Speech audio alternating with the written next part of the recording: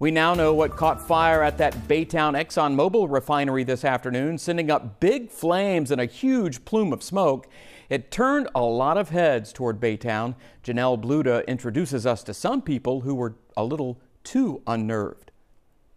Tonight, Harris County officials are telling us the substance that was burning off for three hours was gasoline. They don't believe it had any impact on air quality, but neighbors say it's enough to make them think twice about where they live. For some, oh God, it was just a lot of smoke, and I see like a big flames of fire. A really big fire. But for Rebecca Ariano, it was just like black cloud, the big, thick black cloud. Bad.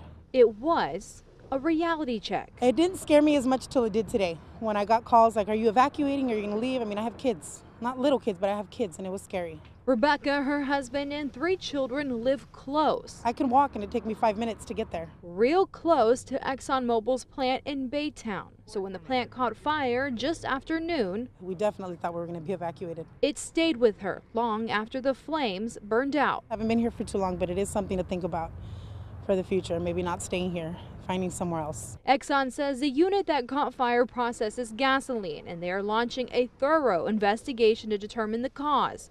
Thankfully, though, no one was injured and an evacuation wasn't needed. ExxonMobil says they will continue to monitor the air quality out here, but as of right now, it doesn't appear to have any adverse impacts. Standing for Houston, I'm Janelle Bluth, KHOU 11 News.